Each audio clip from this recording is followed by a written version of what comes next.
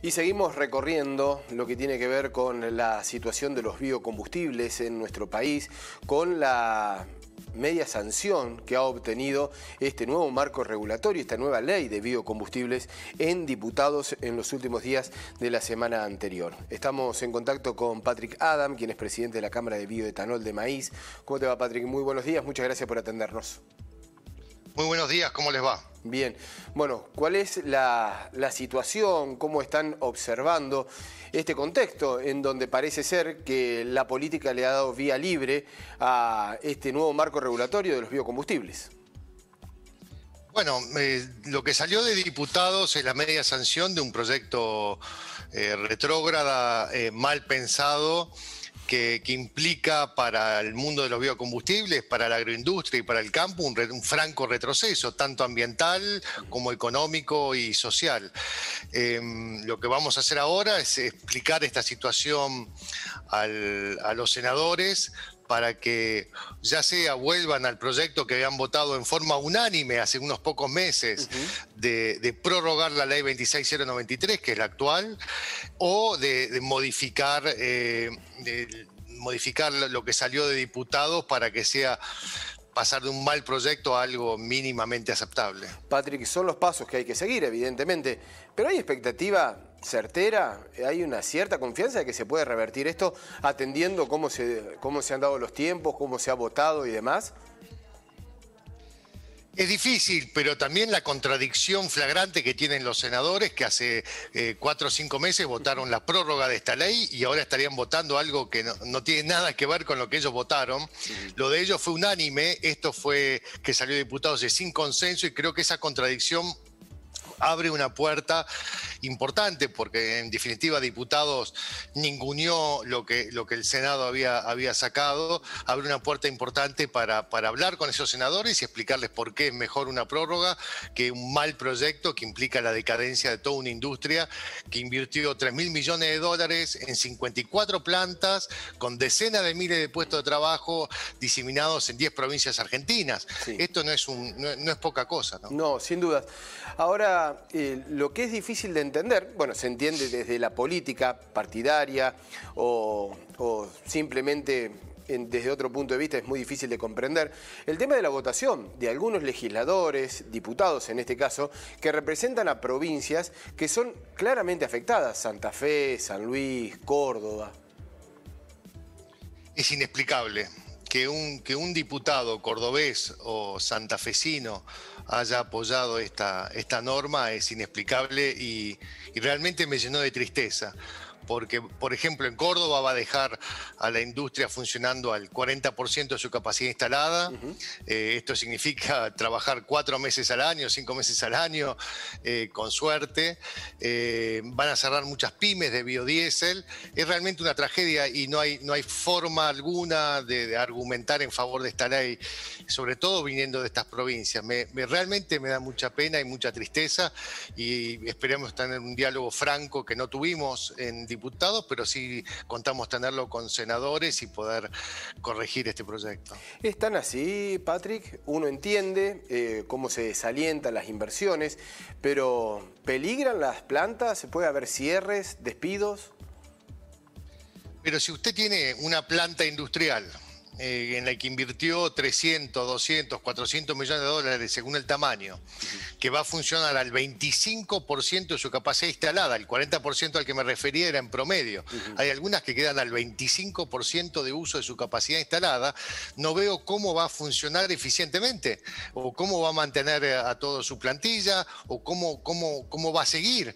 Eh, es realmente eh, grave la situación, no, no, no es un, decir al pasar, es, es un hecho concreto, que cuando bajen los cortes del 12 al 9% en bioetanol, eh, y usted sabe que esa, rebaja se concentra en el biotanol de maíz, además. Eh, así, mágicamente, porque sí, sin argumento alguno, bueno, va a bajar al 9 y cuando baje al 9 eh, va a ser exclusivamente esa baja para el biotanol de maíz. idem para, para el biodiesel, el, corte baja del 10% actual hasta el 3%. No hay forma de que funcionen las plantas. Y acá están, es muy grave porque también están perjudicando el agregado de valor en origen, la industrialización de la ruralidad. En el fondo, lo que están buscando es reprimarizar toda la economía y es realmente va contra, va contra el sentido común. Eh, los biocombustibles es una generalidad, hay distintas plantas, distintos trabajos. Eh, ¿Por qué no han podido trabajar en conjunto, por ejemplo, con eh, la caña de azúcar? Digo, porque la, votación ha sido distinta, diferente, se entiende que se los perjudica menos. Digamos, ¿han logrado dividir allí a los biocombustibles? Bueno, nosotros trabajamos mucho con el sector de caña de azúcar. E hicimos un proyecto de ley en el marco de la liga, con, los, con las provincias, con los gobernadores, con todos los productores de, biotanol y de biodiesel. Eh, y a último momento apareció que se fue presentado en el, Congreso por el diputado Carlos Gutiérrez de Córdoba, ese proyecto, y a último momento apareció este, este, intempestivamente este proyecto que eh, dividió, sí, dividió eh, en el sentido que a uno lo dejaba tal como está y al otro lo perjudica claramente, expresamente y, violentamente. Por lo tanto, ahí se, abrieron las aguas y, el sector de caña de azúcar decidió acompañar esto porque a ellos los dejan en la misma situación en la que están hoy, como si hubiese habido prórroga, y a nosotros nos dejan en una situación de, caída brutal de actividad entendiendo esa situación, digo, se merecía trabajar más en bloque, ¿no? Eh, esta, esta, esta situación y no las particularidades, me parece, digo, ¿no? Estoy totalmente de acuerdo, es una pena que no se haya logrado eso. Eh, eh, el oficialismo lo, logró quebrar porque estábamos trabajando en bloque, esa, esa unidad que teníamos. Y bueno, que es una enseñanza porque hoy, hoy nos toca a nosotros, mañana con la misma arbitrariedad les va a tocar a otros. Eh, Patrick, y con respecto a esta situación, la, la de planta, la capacidad ociosa, ¿de qué tiempo estamos hablando? ¿Ya se está trabajando reduciendo los, los costos, el personal, la capacidad ociosa comienza a aumentar o todavía estamos en un nivel de producción regular, medio? El nivel de producción es regular, medio, porque además hay una fuerte caída de la demanda producto del menor consumo de naftas, de la recesión, de la pandemia. Em, estamos viendo escenarios, pero vamos a dar la lucha hasta el final en el Congreso y, después veremos dónde estamos parados y vamos a analizar la situación del sector y ver cómo seguimos. Bueno, eh, tiene mucha expectativa con lo que puede llegar a, suceder en, senadores. Desde aquí, observando cómo es el, transcurso de la política y los órdenes políticos, eh, uno cree que es bastante complicado de dar vuelta a esta historia eh, con la prórroga de la ley de los biocombustibles. Pero, eh, ¿están cimentados en alguna declaración, en alguna reunión con senadores o tan solo dentro del sentido común que puede llegar a tener desde la vista de ustedes? No, no, tenemos esta, para esta semana reuniones con, muchos senadores para, para, dialogarlo con toda franqueza y que puedan corregir este proyecto. La esperanza es lo último que se pierde y la política es el arte de lo posible.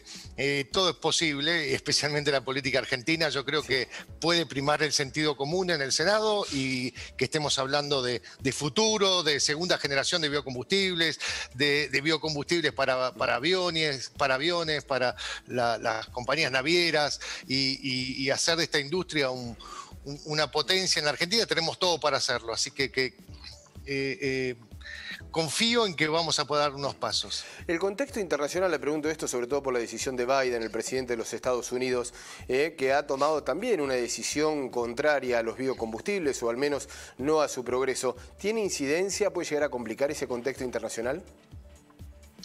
Eh, no fue, no fue Biden, eh, fue la Corte Suprema de Estados Unidos que dijo que, y tampoco es en contra, de hecho Biden acaba de, girar 700 millones de dólares para la industria de biocombustibles eh, para sostenerla en los Estados Unidos. ¿no? fue la Corte Suprema que, que pidió que no sea obligatorio, mandatario el uso de biocombustibles, porque estaba en contradicción con otras leyes, eh, eh, es un tema técnico, jurídico eh, muy específico, pero para nada está en contra y al contrario Biden lo quiere desarrollar. De hecho, es, tiene la agenda ambiental, una de las agendas ambientales más progresistas y más inteligentes y agresivas, diría, y enérgicas que, hay en el mundo y, se está transformando en un faro para el resto del planeta. eh, rápidamente los países que no cumplen con los acuerdos internacionales, como la Argentina, o que entren en default ambiental, como la Argentina, mediante este tipo de leyes, la van a pagar caro porque van a ser sancionados por el comercio internacional. Patrick Adam, muchísimas gracias por el contacto, como siempre, para con Federal, y esperemos ¿no? que esta situación se pueda revertir para el sector y para el desarrollo, ¿eh? desarrollo económico del interior del país, como significan los biodiesel. Un fuerte abrazo. Muchas gracias, un gran abrazo. Hasta luego.